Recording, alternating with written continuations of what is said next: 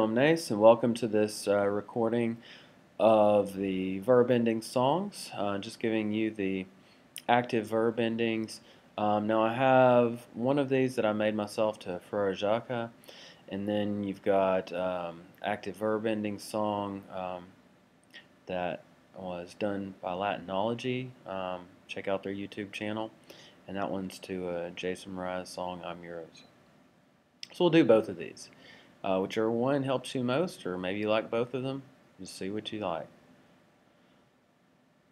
O or M S N T M U S M U S T I S N N T T I S N N T active verbs active verbs first comes I then comes you he she it he she it we all and then they, we all and then they, subjects for all the verbs.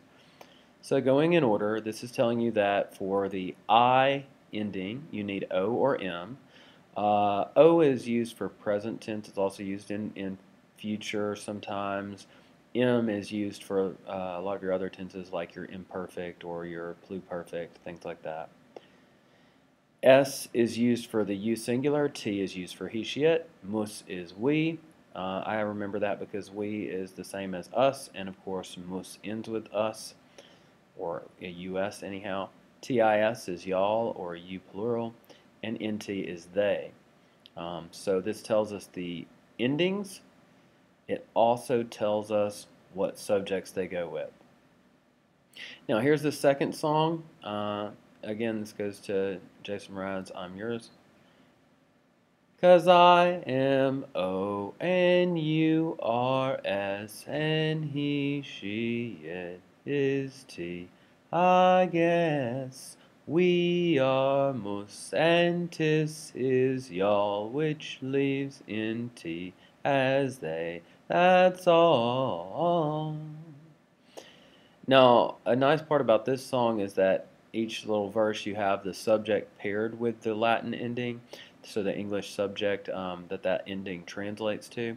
So that's nice. I like that. Um, just as a reminder, though, some of the tenses don't use O for the um, I form of the verb. Some of them use M as the ending. So just remember that, and you'll be good here. Of course, that is expressed in the other song. Both these songs are, are um, very good and helpful just whatever helps you, maybe both. And I hope you learned a few things here. Valete usque ad proximo.